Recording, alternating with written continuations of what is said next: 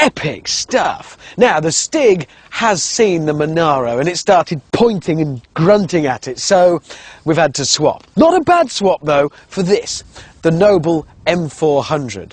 We like this car. Technically, it is a road car. Until that is, it gets the faintest whiff of a racetrack.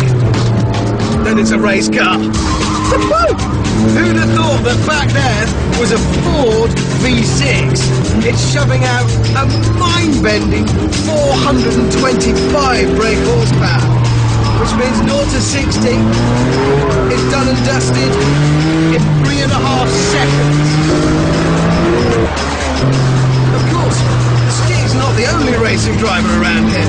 Oh no. There was one occasion a while ago when I had to do a birthday tribute